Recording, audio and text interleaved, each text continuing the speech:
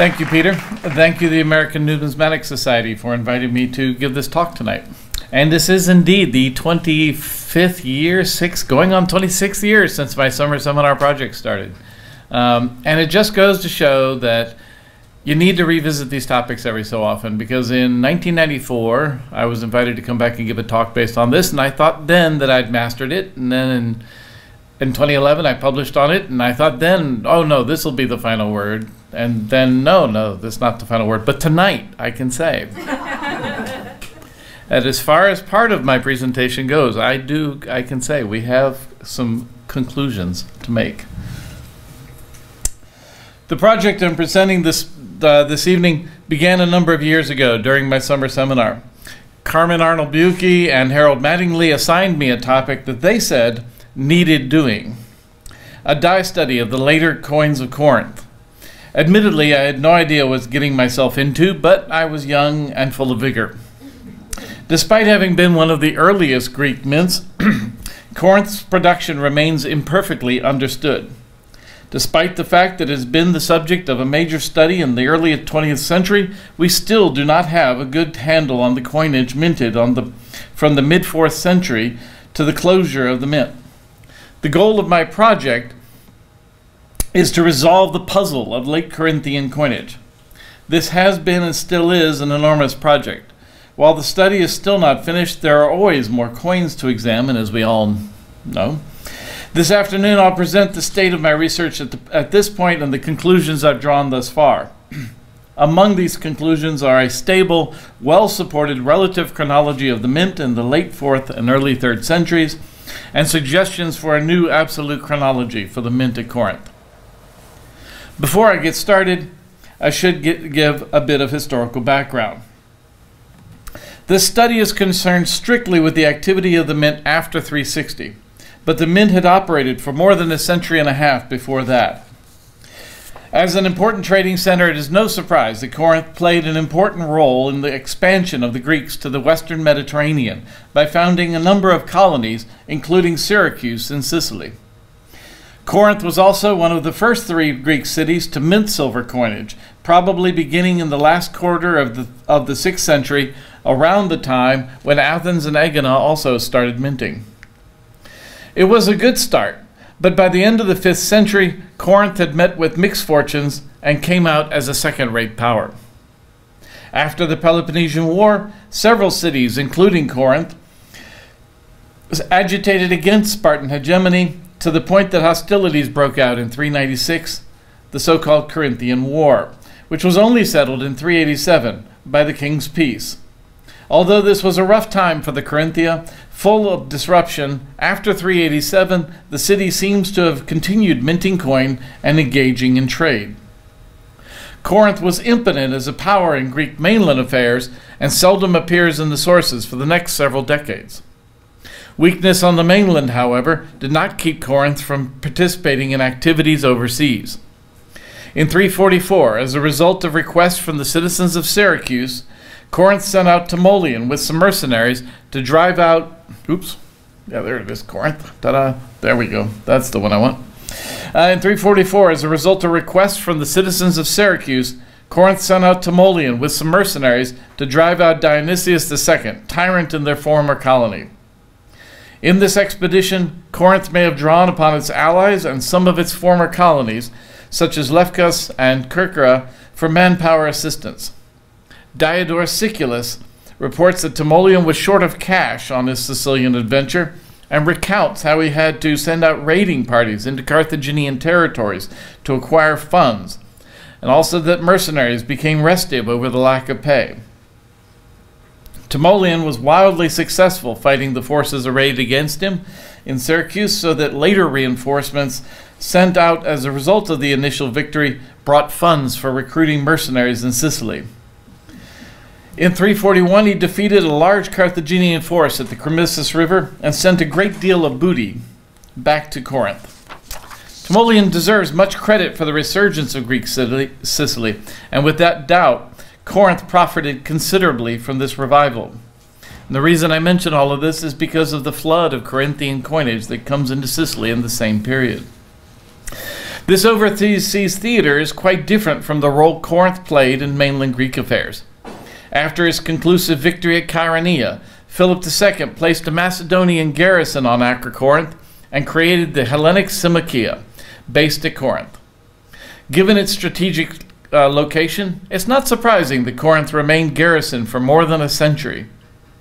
In spite of the garrisons throughout this period, there's no literary evidence that Philip, Alexander, or, or any of the Diadochi in control of Corinth instituted controls over the regular institutions of the administration, including the mint.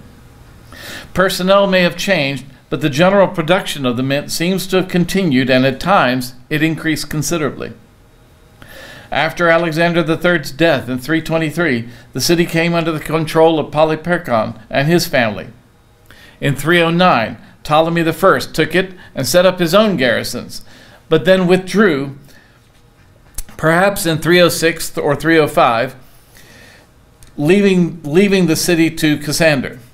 The sources are unclear concerning the year in which Ptolemy force, Ptolemy's forces withdrew, but it may have even been as late as 304.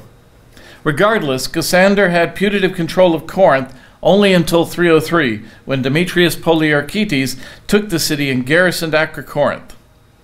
He was extremely active in the Corinthia and was minting heavily after 290 in preparation for an invasion of Asia Minor. Corinth passed, control, passed into the control of his son, Antigonus Gonatas, when Demetrius left in 287 on what turned out to be his last campaign. He was captured by Seleucus in 285, and in 283 Demetrius died in captivity. Corinth remained under Antigone control until 243, when the city was freed by Aratus and joined the Achaean koinon. The city changed hands several more times between the koinon and the Antigonids, but its ultimate fate rested with Lucius Mummius, who destroyed the city in 146. There. Now we have the historical background necessary to appreciate the context of the coinage. Let's have some numismatics. Corinth minted its earliest silver staters in the last quarter of the 6th century and continued to mint irregularly until 146. The silver coinage followed a standard similar to the Attic Euboeic standard in that the pegasi weighed, weighed 8.6 grams, the equivalent of an Attic didrachm, although I learned today that the whole question of standards is kind of up in the air a bit. So this will be resolved by Uta and uh, Peter later, I'm sure. the ethnic, the archaic kappa on the obverse, highlighted here, will remain the same single letter for the length of the Greek myth's production. Although staters originally had a Union Jack pattern on the reverse, this was eventually replaced with a helmeted female head in an incuse square. Corinth also struck fractional denominational coinage irregularly after the early period. The trihemidram, the dram, the hemidram, diobal, triobal, or I, sh I should say trihemiobal, obols, hemiobols, and a limited and a limited bronze coinage beginning in the fourth century. The obverse and reverse types of all the coins remained the same throughout the life of the Greek mint, all tied to the Bellerophon myth that was so important to Corinthian identity. As far as chronology, we should start at the beginning. Corinthian coinage received scholarly attention in the late 19th century, but it was not until Oscar Ravel published his two volume study in 1936 and 48 that a study of the staters from its inception down to their termination was completed. Ravel set up a framework for the mint upon which others have built, focusing exclusively on the staters and drawing on a die study and stylistic analysis supplemented with some hoards. Ravel organized the coinage into six periods, as you can see here. He tried to establish firm dates for each of the periods with mixed success. Although his absolute chronology has been adjusted, you can see where the question marks have it's been it's still undergoing adjustment.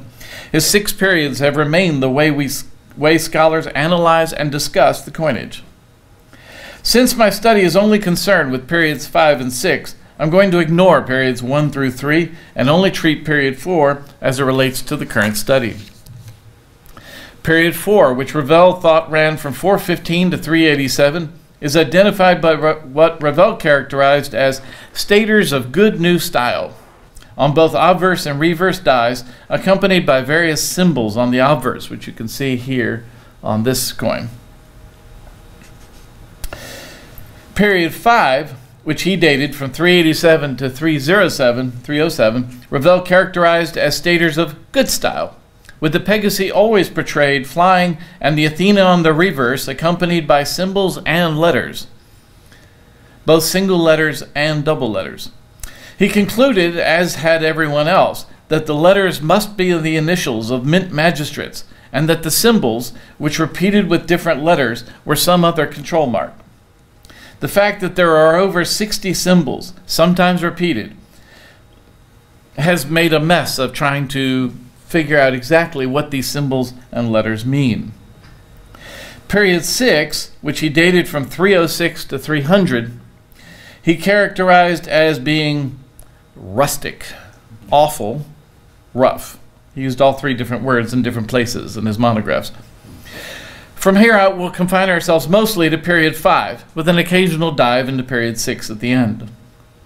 In addition to setting out an absolute chronology, Ravel attempted to set out the relative chronology of period 5 by putting the letters in order in which they were minted. In doing so, he identified 12 series, you can see them here. And they're made possible because, as you saw from the previous slide, each one of these period 5 coins has a different letter along with its symbol. He did not attempt to put the symbols in order. He did this uh, largely on the basis of style, although he did also use hoard evidence to anchor the last three series of period 5, a point to which I'll return. The next scholar to devote attention to period 5 was G. Kenneth Jenkins of the British Museum. Jenkins, drawing on ex his extensive experience working with hoards, realized that Ravel's chron relative chronology for period 5 was flawed. Using recently published data on hoards, he rearranged the first three series. So we get Ravel on the right and Jenkins' modification of this on the left.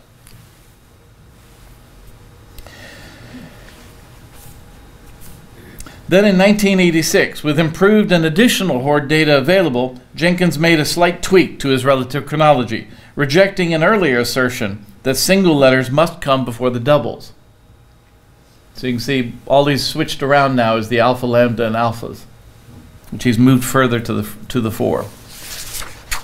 As you'll notice, Jenkins placed the epsilon and the nu series first because they appear in early hoards, uh, along with period 4 staters. The position of these two series is further supported by evidence from overstrikes of Metapontum and Tarentum. Examination of overstrikes on Corinthian coins, Corinthian staters by, by Anne Johnston for Metapontum and Fischer Bossert for Tarentum confirmed that the Epsilon and Nu series must be the first two. It also confirms the date for the start of period 5 to around 350, a few years before Timoleon was sent to Sicily.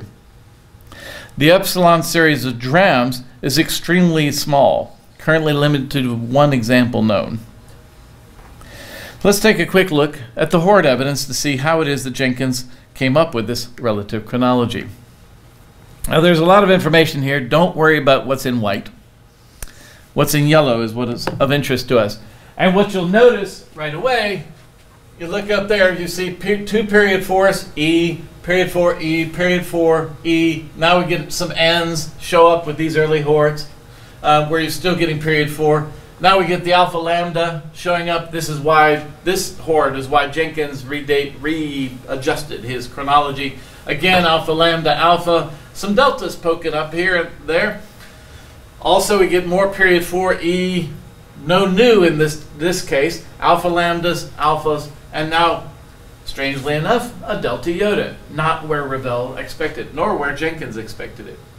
Um, and then in this hoard, epsilon's news, deltas and delta iotas, but again, no, no good sense. And here at the bottom, I've got Jenkins' chronology, so you can see how it is that he looked at this information and came to this conclusion.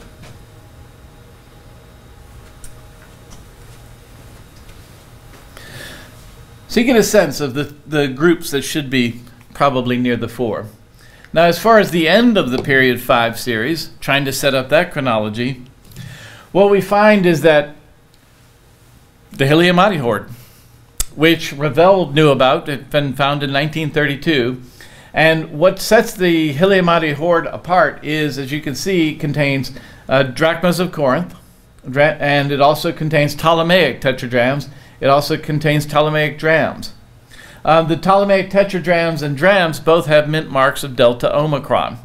And what Ravel noticed was that the Ptolemaic drams and the Corinthian drams both were mint condition. They no wear at all, uh, no sign of any wear. He also noticed that, in his view, the same hand had made the delta omicron on the Ptolemaic coins as had made the delta omicron on the Corinthian coins.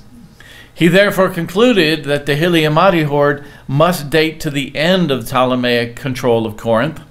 It was buried at the time that the Ptolemaic uh, troops were leaving the city, a time of transition, a time of uncertainty in the city, and that's why the hoard wasn't recovered.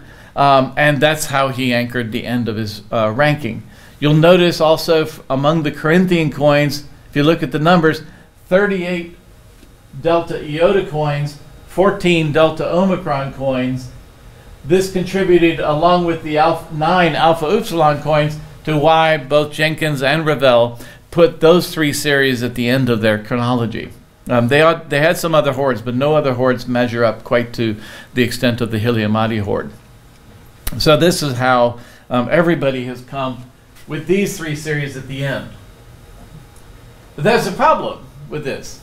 Uh, there's several problems with this. One of them is if this is where the delta iota goes, then why does delta iota show up in several early hoards?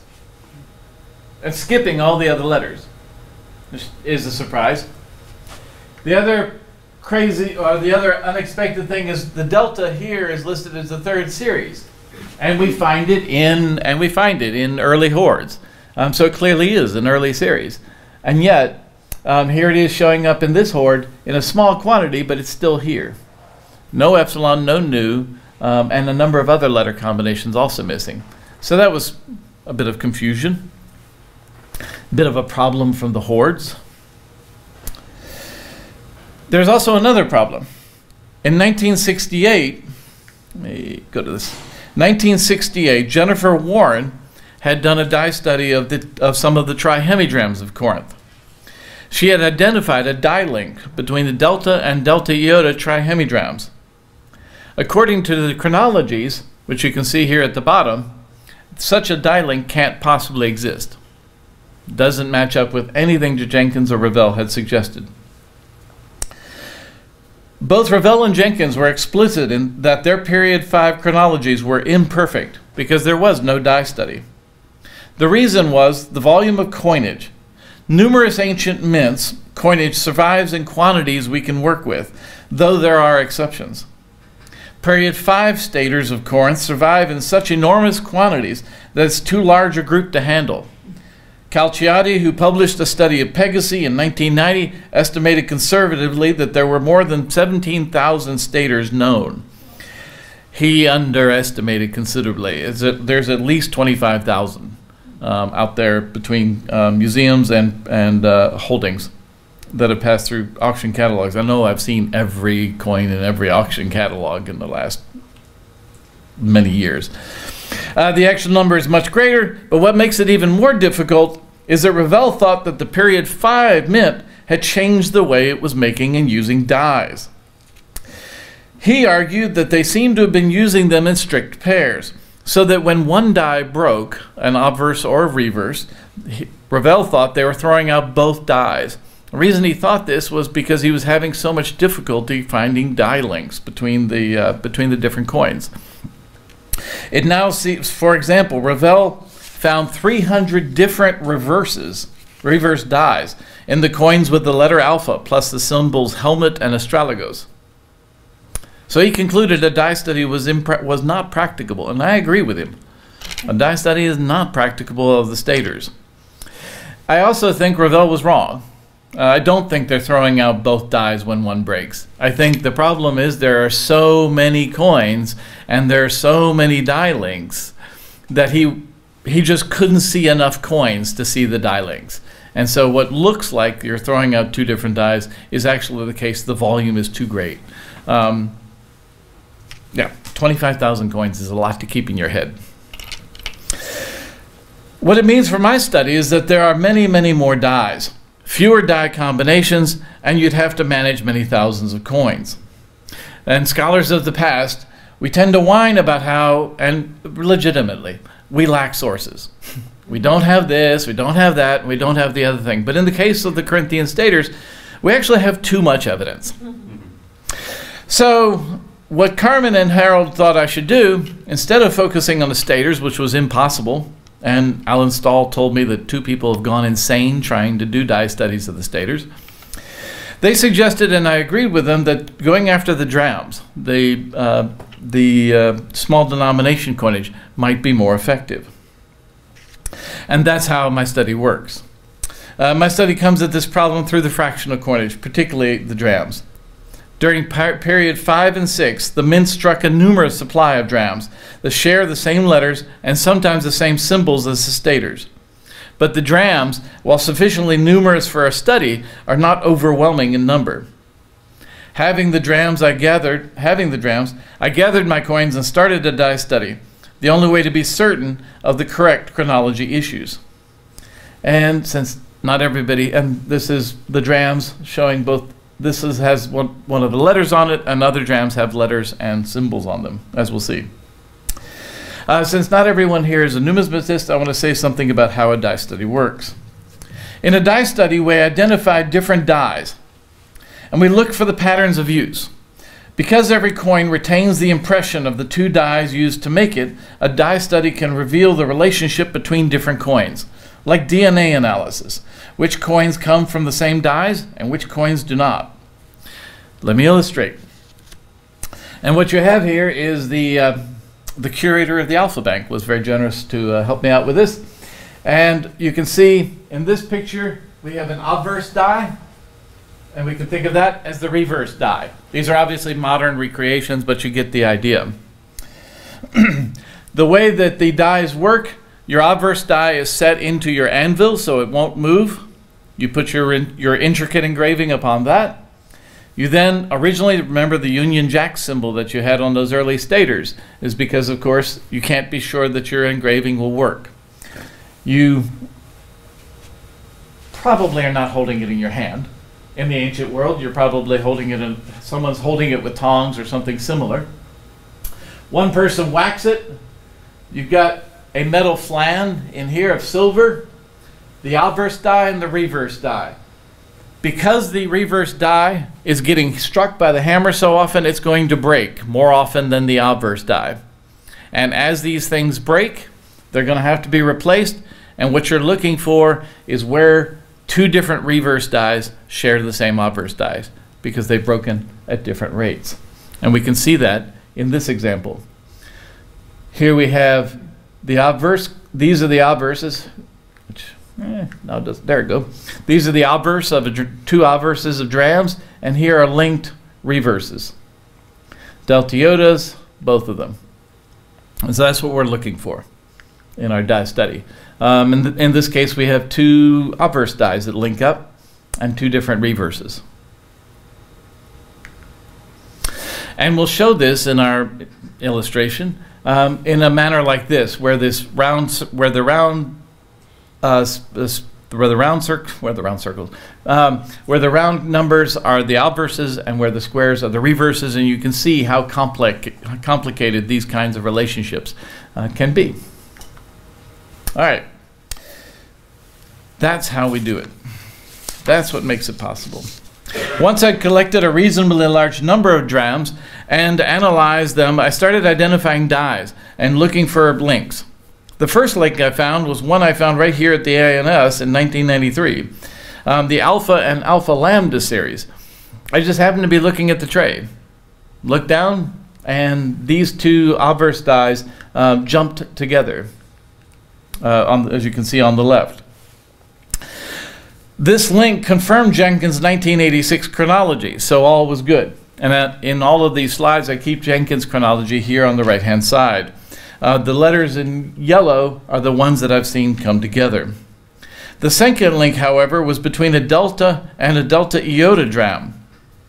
As already noted, this was the same series link Jennifer Warren had found in the trihemidrams, confirming uh, confirming Jennifer's uh, confirming Warren's work uh, meant that the series links were consistent across denominations. But knowing there was a link didn't automatically indicate which came first, delta or delta iota. It also didn't indicate where in this series those two coins were going to go. You can see from Jenkins' chronology, delta should have been early, delta iota should have been late. Warren's link had been dismissed because some people were unaware of it, and it was considered an outlier because of it was a fractional coinage.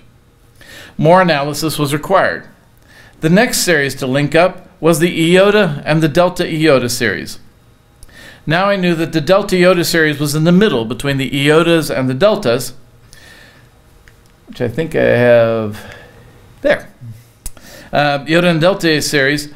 I'm not going to show you all of my links because that would require about three hours. I think we all have less than three hours to spend. In addition to the die links and the hoard analysis, style can help suggest places where series may be related. Ravel and Jenkins had both recognized that stylistically, the alpha rho, gamma, and iota series belong together because of the wing execution on the obverse dies. Now, these three coins are all staters of these three groups alpha rho, gamma, and iota. You can see how similar the uh, wings are. One of the things I noticed when working on the drams is it's very clear that the same engravers are working on the drams as are working on the staters because the wings get finished the same, uh, the legs get finished the same, many of the features are similar. So stylistically, these three have to go together. They don't necessarily link, but they do have to go together. In the process of assembling my evidence, I also ran into a previously unrecorded letter group on several drams that stylistically looked much more similar to period 5 than to period 6. So now I have this, and then I found that. This was the NO series, Nu Omicron. And it must belong to period 5 stylistically. Thomas Martin had suggested in 1985 in a footnote um, that this might be the case, but nobody had noticed it, including myself back in 93.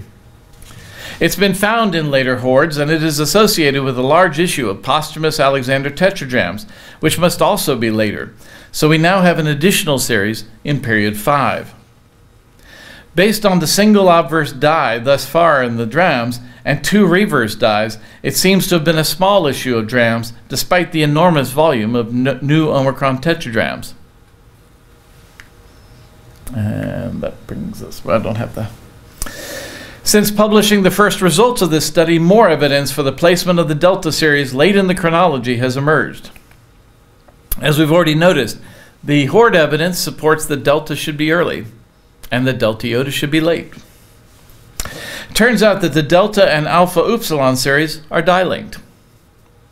Additional support emerges in the posthumous tetradrachms minted in Corinth probably by Polyperchon, Alexander, or Cratesipolis. One of the letter series appearing on posthumous tetradrachms minted in Corinth is the delta with a wreath, sometimes inside, sometimes outside the wreath. A letter symbol combination that also appears on drams and staters of period 5, as you can see here. Uh, these are two drams, delta inside a wreath, Here's a delta inside a wreath. The delta is really hard to make out, uh, but this also appears on staters of Corinth in this period. Given that this remains a contradiction with the hoard evidence, the most likely solution must be that the delta appears twice, early and late. A suggestion also made by Warren, uh, though she had no evidence for it at the time. That the mint reused the letter is bolstered by an unexpected link. It turns out that some of the Alpha Lambda series coins have the letters marked on top of the heads. You can see them here and here, and even here on the head of this uh, chimera. Along with the letters on top of the head is the symbol Quiros behind, which, ah, there it is. Here, here, here, and here. There are also several Delta Iota series drams that have letters marked on top of the head instead of below the chin or behind the head, and these too share the Quiros symbol. It turns out they're die-linked. Thus, the delta iota are die-linked with alpha lambda, along with being die-linked with iota and delta. Several of the delta series drams also have the Quiros symbol on the reverse, and this same symbol appears on delta staters and trihemidrams. The obverse types of these delta Quiros drams are extremely similar in style to the alpha lambda obverses, so similar that they must have been carved by the same engraver or at least in the same shop. All of these links, dies, symbols, and style further suggest that the delta, delta iota, and alpha lambda series belong together. This is consistent with the appearance of delta and alpha lambda in early hoards. Therefore, we can say delta and delta iota series definitely belong to the beginning of the period and to the end. The reason for delta iota may not the reason the delta iota may not show up in early hoards so much is because it was a small issue. Uh, in the dram so far, this early issue of delta iota is only known from one obverse and one reverse die thus far out of three examples. The last die link to appear in the series is between alpha and alpha rho. This link completes the relative chronology. You can see there. And this also showed, uh, proves absolutely that Jenkins was right, that the double letters don't have to follow single letters, uh, which was an assumption that both um, that Ravel and Jenkins' early work had made. The Gamma series does not actually share dies with any series of drams, but as already noted, it is stylistically related to the Alpha Rho and Iota series, so it belongs in the only remaining place, right in the middle. The relative chronology for period 5 is now set. I've hunted for additional links with luck. I've tested this chronology up and down, back and forth. It's stable and it holds up. I should also say a few words about this new relative how this new relative chronology affects the absolute chronology for Corinth. There's, yeah, this is Kraay's and Jenkins. Uh, Colin Kraay and G.K. Jenkins um, have a, have a, a chronology that revised what Ravel had proposed. Uh, Ravel had proposed that period four uh, ends in 387. Kraay and Jenkins had downdated it to Timoleon. Um, and period five, Jenkins had set from 344 to 306 or so, and period six from 306 down to 243. Kraay and Jenkins recognized that Ravel had to be wrong about period six. Ravel had argued that period six would fit between 306 and 300 um, or 302. And that is impossible. There are too many dies. You can't fit it all within that five year period. Um, but to give uh, credit where credit is due, Ravel simply hated period six. Um, he also had very few staters from period six to work with, to be fair. Based on MacDonald's, David MacDonald's work on the flood of Pegasi into Sicily and the overstrikes in, the Tarent, in, the, in Tarentum, period 5 must still begin a little before time of Timoleon's expedition, a date supported by external evidence from hoards and overstrikes. Uh, come back to this in a minute. The terminus of period 5, however, could no longer remain in the 4th century. Ravel, Jenkins, and Kraay relied on the burial date of the Hyliamati hoard for their date of the closing of the mint. While the Delta Omicron drams of Ptolemy show that the Mint used the Delta Omicron series during his stay at the Mint. It is not certain that they stopped using that series when Ptolemy abandoned Corinth in 306 or 304. There are no Delta Omicron staters, but there are posthumous Alexander tetradrachms minted in Corinth that use the Delta Omicron letter combination, and the presence of these accounts for the lack of Corinthian staters. Whether these belong to Ptolemy is less certain, though some have appeared in hoards found in Asia Minor. The fact that the nu Omicron series also belongs with period 5 brings a significant change to the chronology. Given the number of nu Omicron series tetradrachms that have been recovered in 3rd century hoards from Greece and Asia Minor, these were most likely struck by Demetrius Poliorcetes during his control of Corinth. He needed coin on hand to pay his mercenaries, and he minted heavily at all of his mints in the years leading up to his invasion of Anatolia in 287. Once he departed, the mint may have continued to mint in his name, but there was surely less need to mint coins for the war in Asia, as it would have been cumbersome and risky to ship coins clear across the Aegean for the, into, into Asia Minor.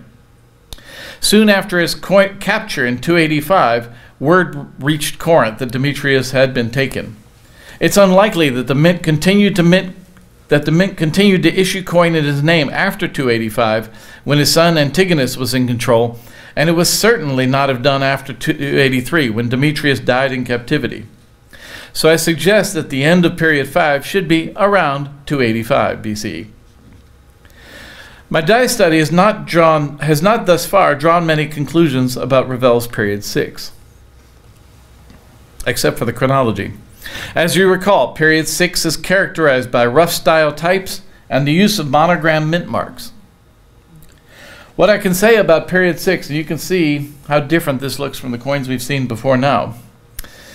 What I can say about period 6 is that the staters must end around 243 when Corinth joined the Achaean League, and that Kraay and Jenkins were correct. But the volume of dies for the drams is too great to shoehorn them all into the period 285 to 243. There are simply too many. In addition to that, hoard evidence from Albania shows that these coins were still in circulation, and there are mint versions of uh, Corinthian drams showing up in hoards dated to 180 and 160 BCE. The coin types remain the same, though their style continues to be erratic and rough. The use of new letters and some symbols continues along with ligatures and monograms in period 6. It appears likely that this period needs to be reorganized into at least two and probably three periods, and I thank Ute for this suggestion. also, it seems necessary to redefine the weight standard after 243, below that used in earlier issues, because period 6 almost universally uh, weighs, less than, weighs much less than we would have expected. I, expect that much more will emerge from this analysis as I dive deeply into period 6 material. In conclusion, we know three things about Corinthian coinage we didn't know two years ago. We have an additional series in period 5, the nu Omicrons. We have a new stable relative chronology confirmed through a die study. We also have a superior sense of the mint's absolute chronology, which must come down to 285 for period 5. And we also know that period 6 is larger and much more complex than Ravel imagined. And that the coin types for the staters, whoops, missed a word there. And the coin type of the staters, as well as all the other coins, must tie back to the Bellerophon tale, and therefore it must be Athena and not Aphrodite on any of the Corinthian coins. I have an article coming out on this next year.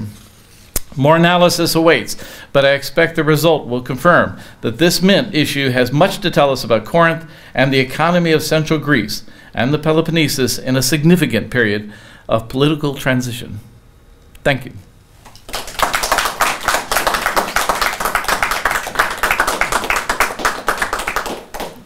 Any questions?